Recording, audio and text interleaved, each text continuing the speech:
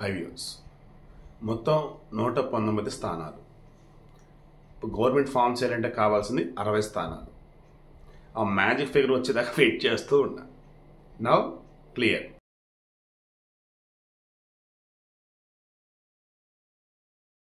అరవై నాలుగు స్థానాల్లో కాంగ్రెస్ సంపూర్ణంగా విజయం సాధించింది. ఒక స్థానంలో సిపిఐ వాళ్ళు గెలిచారు అది కూడా కాంగ్రెస్ మద్దతు. అంటే అరవై ఐదు స్థానాలు.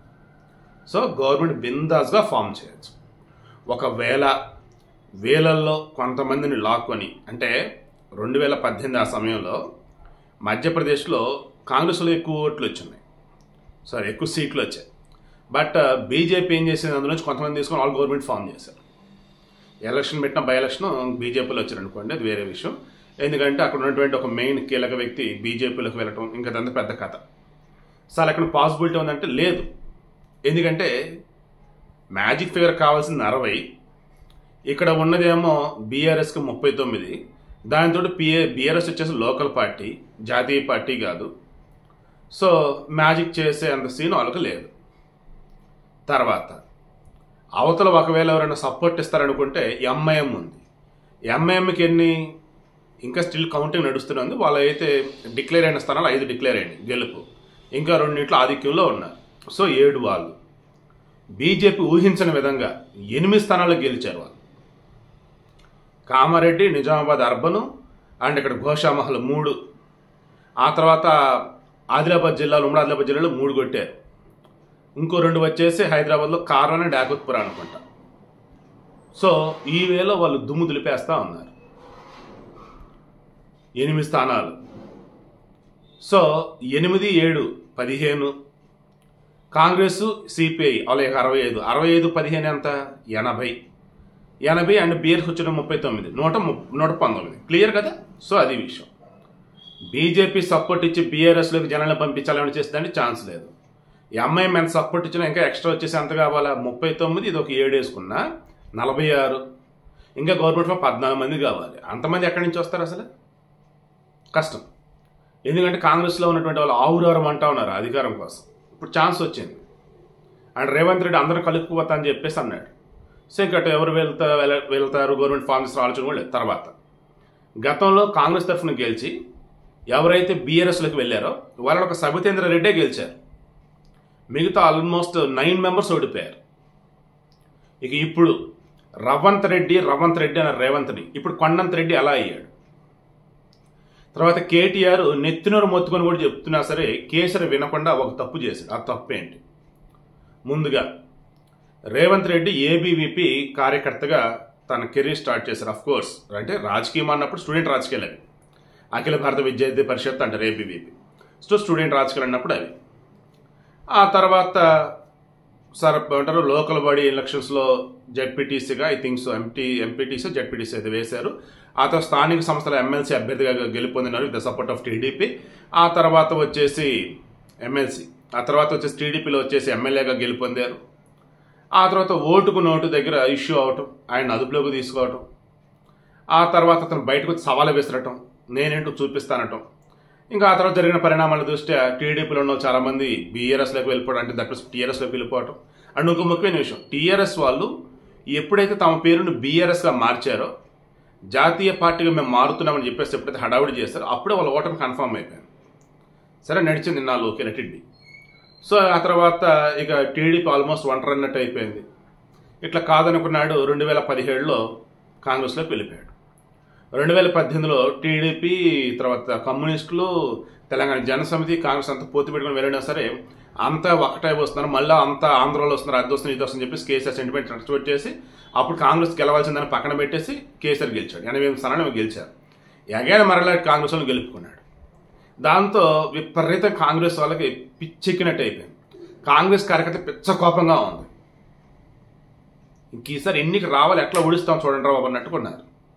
అదే మూమెంట్లో రేవంత్ రెడ్డిని జిహెచ్ఎంసీ ఎన్నికల సమయంలో ఏదన్నా బలమైనటువంటి వేలో ఉండిద్దాం ఇక్కడ చూసుకున్నారు కాంగ్రెస్. బట్ కనిపించపోయేసరికి సరైనడు కావాలరా అనుకున్నారు కాంగ్రెస్కి.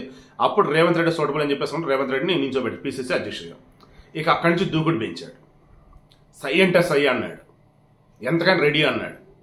అప్పుడు రవంత్ రేవంత్ రెడ్డి రవంత్ రేవంత్ రెడ్డి అన్నారు. బట్ స్టిల్ ఎలా మారిందంటే బండి సంజయ్ని ఎప్పుడైతే ఇక్కడ బీజేపీ రాష్ట్ర అధ్యక్షుని తొలగించి కిషన్ రెడ్డి నించోబెట్టారో ఒక్కసారిగా రేవంత్ రెడ్డి ఇమేజ్ ఆకాశానికి ఎదిగిపోయింది తెలంగాణకు సంబంధించి యూత్ని అట్రాక్ట్ చేయటం కానీ నిరుద్యోగుల సమస్యలని పర్ఫెక్ట్ వేలో ఎలివేట్ చేయటం కానీ అండ్ కేసీఆర్ని అసలు ముందు వెనక ఆలోచించుకుంటూ గట్టిగా వేసుకోవటంలో కానీ ఇక అందరు సపోర్ట్ రేవంత్ రెడ్డికి వచ్చేసింది.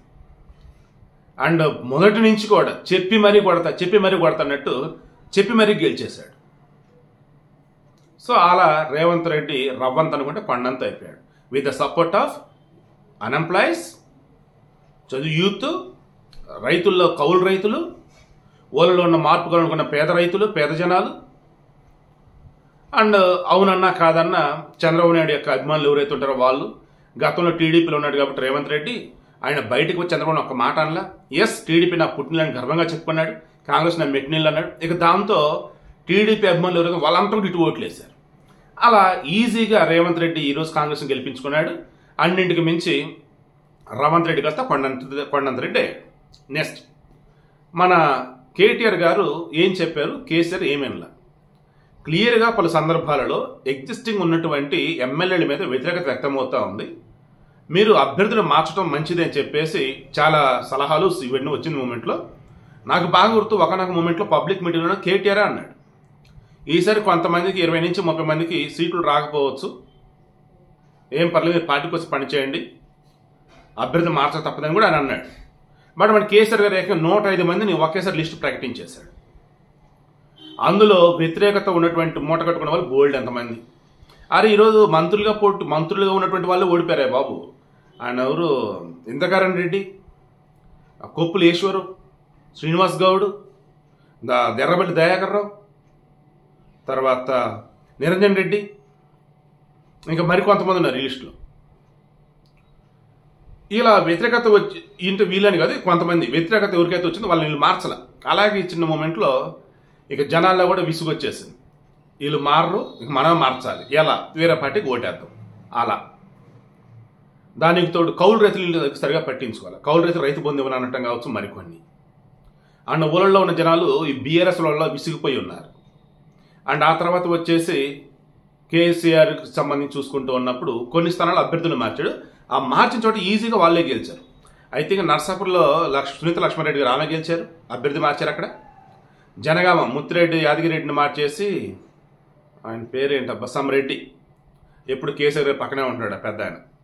ఎమ్మెల్సీగా ఉన్నటువంటి మండలం వరకు. సో ఆయనకి ఇచ్చారు. అతను గెలిచారు. ఆ తర్వాత సిర్పూర్ కాగజనారా అది? సారీ అండి. ఆ స్టేషన్ కనుపూర్ కడియం శ్రీహరి ఆయనకి ఇచ్చారు ఆయన గెలిచాడు. అండ్ ఇక్కడ మల్కాజ్గిరి వచ్చేసి మల్లారెడ్డి అల్లుడికి ఇచ్చినారు అతను గెలిచాడు. అండ్ ఇంకోటి ఎక్కడో మార్చారండి. మ్యాక్సిమం వీళ్ళు ఎక్కడైతే అభ్యర్థులు మార్చాలో అంతా గెలిచేసి ఉన్నారు. అభ్యర్థులు మార్చకపోవడం అతి పెద్ద మైనస్ అయింది రిమైనింగ్ డబుల్ బెడ్రూమ్లు రైతు బంధులు దళిత బంధులు ఇంక ఇవన్నీ తలనొప్పులు ఉండలే ఉన్నాయి కానీ అభ్యర్థులు కనుక మార్చున్నట్టయితే ఈజీ గెలిచేసేవాళ్ళు. అది అతి పెద్ద మైనస్ చెప్పింది ఇక్కడ బీఆర్ఎస్కి అండ్ చివరి మొమెంట్లో చంద్రబాబుకు సంబంధించేసి అక్కడ కే జగన్మోహన్ రెడ్డి అరెస్ట్ చేసినప్పుడు ఐ మీన్ గవర్నమెంట్ అరెస్ట్ చేసినప్పుడు ఇక్కడ సపోర్ట్ చేసినటువంటి వాళ్ళని వద్దు అనటం మరి మరికొన్ని మరికొన్ని ఇంకా అన్ని నార్మలే బట్ మెయిన్గా సింపుల్గా నేను చెప్పేది రేవంత్ రెడ్డి ఎదిగిన విధానం ఆయన్ని సరిగా పట్టించుకోకపోవటం వీళ్ళు. అండ్ కేటీఆర్ నెత్తినరు మొత్తుకుంటూ ఉన్న కేసీఆర్ మాత్రం ఆయన నచ్చింది ఆయన కనిపించింది చేస్తూ పోవటం. సింపుల్గా చెప్పాలంటే రేవంత్ రెడ్డి ఆత్మామానంతో గెలిచాడు నమ్మకంతో గెలిచాడు. వీళ్ళు అతి విశ్వాసంతో ఉన్నారు. అది తేడా కొట్టేసింది. సింపుల్ లాజిక్ అంతకుమించి ఏం లేదు. సో లాస్ట్ కంక్లూజన్ ఈ నూట పంతొమ్మిది మందిలో కూడా అసలైనటువంటి గెలుపు గెలుపు మజా అంటే ఇది అనుకున్న వ్యక్తి ఒకళ్ళు ఉన్నారు. కామారెడ్డిలో బీజేపీ తరఫున గెలిచినటువంటి వెంకటరమణారెడ్డి. ఎగ్జిస్టింగ్ ముఖ్యమంత్రి కేసీఆర్ని ఓడించేశాడు. కాబోయే ముఖ్యమంత్రి రేవంత్ రెడ్డిని ఓడించాడు. తాను గెలిచాడు. మొదట్లో లీడింగ్లో రేవంత్ రెడ్డి ఉన్నాడు.